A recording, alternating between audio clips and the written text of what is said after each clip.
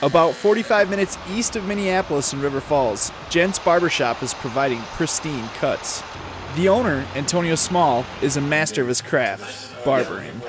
We like to look at a canvas and we like to figure out how we want to start the canvas and how we want the canvas to end. Since the age of 14, Antonio has been refining his skills. I started experimenting with clippers on myself and then it kind of transitioned into family and then went from family to friends. So it was a it became a hobby. For the barbers at Gentz, one word seems to define them. Passion. I think a lot of it is fueled by passion.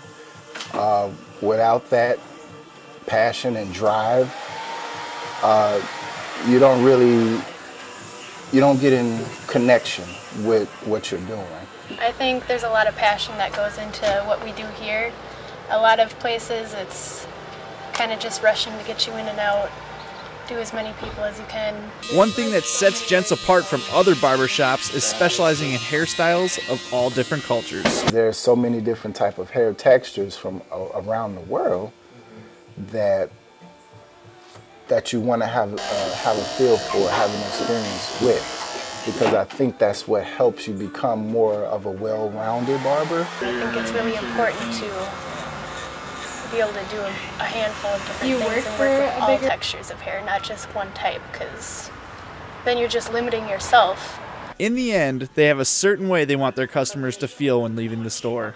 I would say I want them to feel better than when they came in. That's my main goal. You always feel 10 times better than when you did before you walked in the door. And that they do. John Miller, University Report.